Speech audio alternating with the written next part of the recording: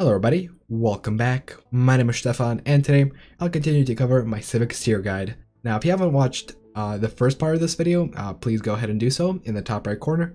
Uh, there's a link, but uh, the basics of it is that I have a tier list. Uh, all the Civics in the game are organized in this tier list in six different tiers, and uh, the most powerful ones are at the top, least powerful ones are at the bottom, and today we're going to be covering the bottom 39.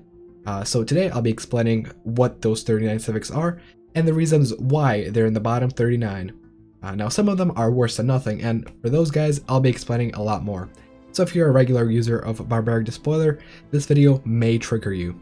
Uh, but anyways, let's begin with the Civics, and uh, by the way, if you want a 4K image, uh, there's one in the description. Alright, let's begin. Uh, these Civics are a lot more boring than the other Civics, and are overall just kind of meh. Uh, warrior culture is pretty damn good, but only if you actually have a use for entertainers. Uh, if you're playing with a normal empire, you don't really need to build any entertainer buildings until around year 40 or so, and so the first 40 years will be a complete waste for warrior culture. Uh, however, later on, uh, entertainment buildings can be used as very good unity producers, as well as, of course, amenity and naval cap producers. A duelist job actually produces the exact same amount of unity per pop as, you know, a culture worker job. And so in the end, you get a lot more bonuses for the same amount of Unity, and basically, Unity buildings are obsolete. Uh, this civic can also be combined with the Ecumenopolis, uh, in which case you plop the entertainment districts on, and you actually have five duelist jobs instead of the five culture worker jobs that are associated with it. Uh, this way you're going to get some pretty crazy amounts of naval cap from your Ecomonopoli, and you're certainly not going to regret it. Uh, trading Post is boring, it provides you 4 extra star bases, which can be used for something like uh, extra docks, extra shipyards, etc. But eh. Great updates, subsumed will, imperial cult, cutthroat politics. Uh, all these guys do is decrease the cost of edicts or increase the duration of them. Uh, so overall, they're kind of meh. They don't really matter too much. You do have to invest a lot of influence in edicts already to make these guys worth it. And even when you do get to the point where all the influence that you're spending is actually going on the edicts, they're only relatively okay. Uh, because at that point, there's really no good edicts left. Uh, next up, we have Police State. It's meh. It does provide 5 stability, which is a nice 3% production bonus overall, uh, but the extra unity provides from Enforcers is really negligible. And if you're playing efficiently, Enforcers are actually some of the pops you unemploy because crime isn't a significant problem, uh, and the Enforcers don't really produce enough to justify the use of a pop. Next up we have Nationalistic Zeal. Uh, it's certainly good if you're playing as a Rush Empire, it allows you to claim a lot more systems, uh, with a minus 10% to claim influence cost, and it also allows you to get weary of war a lot slower. Uh, next up we have slaver guilds and indentured assets. Good in theory, but in practice, awful. Past the first 20 years or so, uh, you're going to notice that you're really going to have a lack of specialist jobs. A solid 40% of your population is destined to go to the mines, and if you need any more of your population to not go to the mines, well, you can't do anything because the 40% pop ratio is set, and the only way you can remedy that is by, you know, giving up the civic. Uh, with the Civic, you get a lot more raw resources that you normally would need, and uh, so in the end, you're probably going to have to end up selling it off or just keeping it in a stockpile, which is not entirely efficient. Uh, next up, we have Static Research and Natural Neural Network. Uh, these do the same thing, they increase your uh, tech options by one, and they're actually pretty decent if you're trying to gun for certain techs. Uh, they were a lot more powerful before when megastructures were actually good, and may actually become good again when megastructures are good again in an upcoming patch. To finish off B tier, we have Merchant Guilds. Uh, overall, this Civic is pretty decent. You get extra trade value from your rural props, but you get less amenities and less unity production. Uh, it's a pretty decent trade-off. You get, uh, it's a pretty decent trade-off, and it's roughly equivalent. So if you value energy production, uh, so if you value energy production or consumer good production a lot more, because of course there's that policy that you can convert trade value into consumer goods, uh, go for it. But otherwise, it's kind of meh. And now we get to the C tier. Uh, some of the Civics in here were good at some point in the past, but are now kind of meh. And uh, some of them can be used to great potential, but require a very, very specific build to achieve them. And so, let's start off with Life Seeded. Now, initially, this may seem like a very enticing Civic. Uh, after all, you get a size 25 Gaia with uh, special resources on it, and, uh, you know, just sounds pretty damn amazing. You know, who wouldn't want a Gaia of that size and of that scope of power? But in reality, by taking the Civic, you really are just shooting yourself in the foot. Colonizing other planets is a major pain in the ass, and you pretty much have to do it because, you know, otherwise you don't get enough growth and your empire doesn't spread quite nearly enough. Now, this can be remedied in some ways, Uh, for example, creating colonies just for the pops to actually grow on them and just resettle them to your life-seeded world, or you actually just raid other empires for those pops. Uh, but that is a very convoluted setup. I actually have a video on the setup, and uh, that is my aggressive tall build. You can check it out right here. But overall, without a specific build to it, it's meh. You get a significant head start from having the Gaia world, but the habitability at that point doesn't really matter because you know, home worlds is always 100% habitability, and the inability to effectively colonize other planets is a detriment. Now, I've always been an advocate of colonizing every single planet in your vicinity, uh, whether it's size 8 or 0 habitability, but with life seeded, it's taken to such an extreme degree that you actually start to feel the really, really negative impacts uh, from having a lot of extra consumer goods upkeep and uh, from having all your pilots pretty much dedicated to amenity production. Uh, next up we have franchising. Now this may seem enticing at first, but in reality, uh, the minus admin cap that you get from branch offices is really not that strong. If you have something like 20 branch offices, you're only saving 10 admin cap, and uh, that is, you know, in the situation where you can actually get 20 branch offices. Uh, this situation usually comes around year 60 or so because at the beginning of the game you cannot afford the actual branch offices, and at that point admin cap doesn't really matter too too much. And in the end you're better served by a different civic. The thing with subjects is that it decreases the penalty from the subject having more fleet power than you, and while this may seem good on space, these situations virtually never happen, and disloyalty of a subject rarely translates into a revolt. Now, vassals as a whole are pretty much useless in high A difficulty settings and in multiplayer games. Uh, in high AI difficulty settings, your vassals actually lose all their AI bonuses when they become your vassal, and so their economy is shit, and they're left unable to compete with you or other empires in terms of fleet power. Uh, in multiplayer games, people don't really like to play as vassals, and subject opinion doesn't matter a single bit because it's literally just a player making their own decisions, unaffected by AI opinion. Uh, next up, we have Media Conglomerate. It's pretty decent. It provides a 5% happiness bonus and uh, minus 5% to war exhaustion gain, but overall its effects are pretty meh. The 5% happiness bonus only amounts to a 2% production bonus overall, and 2% is barely better than nothing, and so it's ranked this low because the effect is this low. Uh, pooled knowledge gives you extra leader cap and extra leader pool size, which really is kind of irrelevant. Uh, the extra leader level cap is kind of relevant until the late game, and the extra pool size is kind of meh overall. Uh, if you're lucky, it can provide you with some extra good leaders, but if you're at the point where you're looking for a leader to staff your fleet, for example, you're probably going to be hiring one at a time until you get the one that you need, and so pooled knowledge, in effect, really doesn't do too much. And now, post-apocalyptic. Uh, this is a Civic that has seen the light of SS tier before, uh, but in 2.2.6 it has been nerfed substantially, and the actual Tomb World preference from your species has been removed. All you get is the Survivor trait, which gives you 70% to Tomb World survivability, and uh, 10 years extra lifespan. You're very unlikely to discover a sufficient amount of Tomb Worlds within your sector of space to actually justify the Civic, and since it's locked to the start of the game, you cannot remove it for later use. And so potentially this is almost useless. Uh, next up we have Corvée Systems and Free Haven. Our Corvée system decreases resettlement costs and Free Haven increases migration traction. Migration overall only happens when there's a bad planet and pops from that bad planet are moving to a good planet, and there are only three situations where significant migration can actually happen. One is if you are bad at planet management.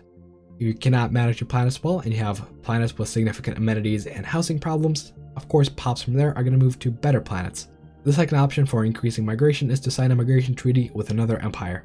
Since we were talking about player empires and uh, high A difficulty, uh, the planets that are going to have are likely going to be either good or even better than yours. And so if they're even better than yours, you're simply going to be losing migration. Uh, resettlement cost goes, resettlement is really not an option that you use a lot in the game. Uh, you only really use it if you're playing with Fanatic Purifiers and you're just resettling pops to a separate world to purge. But even those situations are rather rare, and uh, situational. Uh, next up we have Citizen Service. Uh, this civic grants soldiers extra unit production and also increases your naval capacity. Uh, this can only really be used in the later stages of the game, where you have uh, fortified fortress worlds to actually defend your population. Uh, but with a balancing of the game, fortress worlds are overall kind of meh and are very, very situational because most of the time you can just either avoid them or just jump over them in the case of a late game encounter. Uh, the naval capacity that it provides is good though, and is on par with naval contractors and subspace ephapses. Uh, next up we have Exalted Priesthood. It's not really useful in the early game, and uh, not really too too useful in the late game either. Uh, some of your rulers are replaced with High Priest, uh, which give you extra unity at the cost of extra amenities. And since you're probably not going to be spamming temple buildings, uh, the extra unity that you get from priests is not going to be overly influential. And next up we have environmentalist. Uh, the 10% reduction to consumer goods is really not that powerful, and so it's just kind of there in C tier. Uh, next up, shared burdens. Now this is actually one of the more interesting low tier civics that I've come across. Uh, on the face of it, it looks pretty decent. You have the shared burden living standard, which increases the happiness of all your pops and increases stability by 5. Also, all your pops demote a bunch more rapidly. However, there's really not much use for any of this.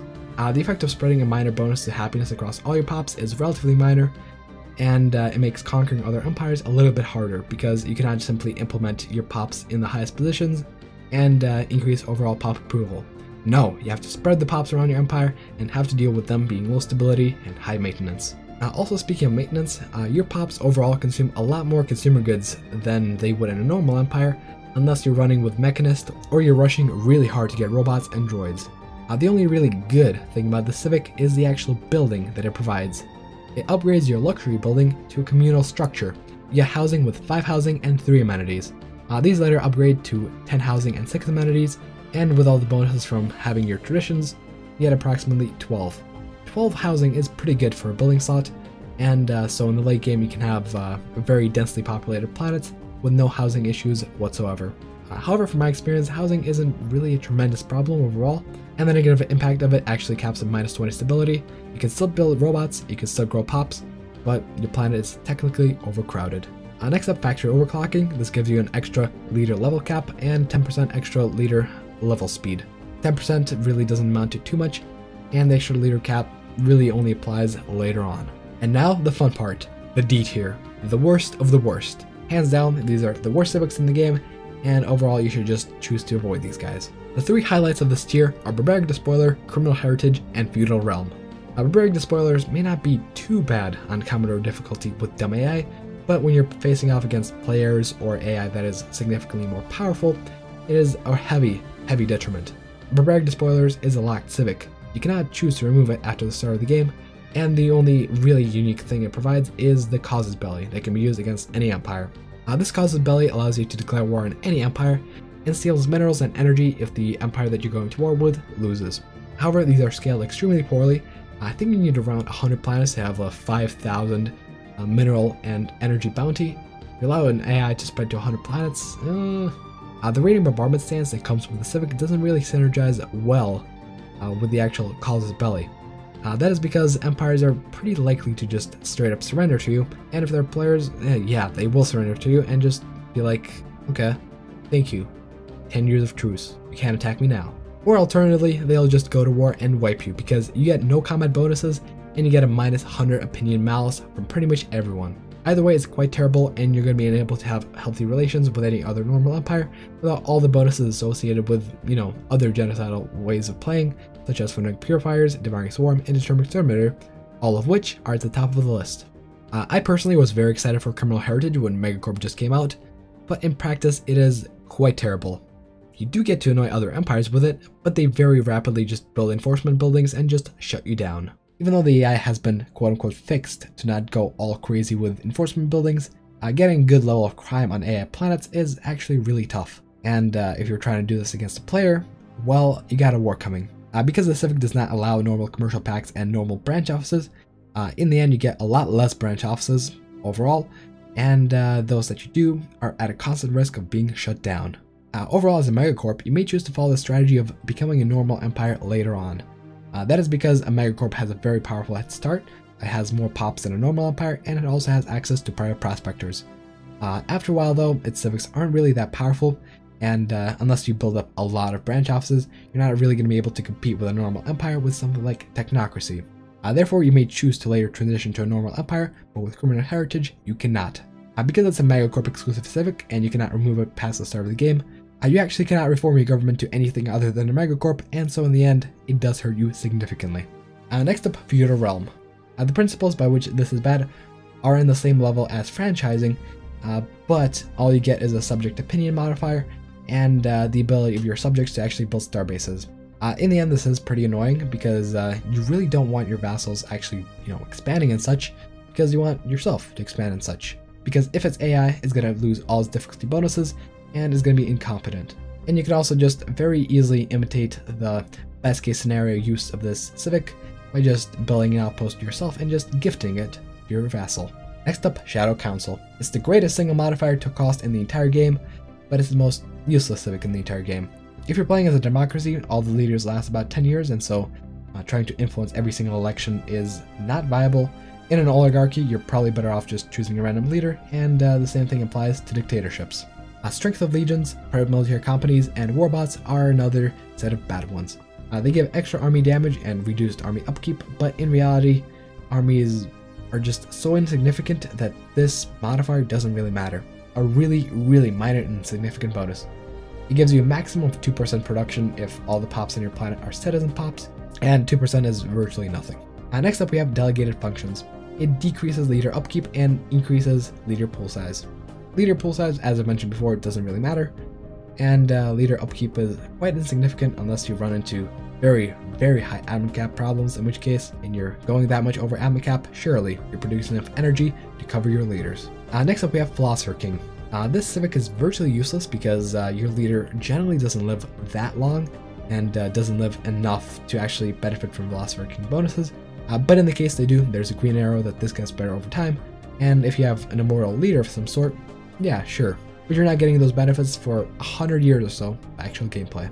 And to finish this all off, we have Zero Waste Protocols, which decreases robot upkeep by 10%, uh, but since you're playing as a machine empire, all this decreases is energy consumption, and the effects of it are meh overall. Uh, but anyways, that's gonna be it for today's comprehensive tier list. But anyways, that's gonna be it for today. Uh, stuff like this I usually post on my Discord before I actually make a video about, uh, so join my Discord if you want early access to content like this.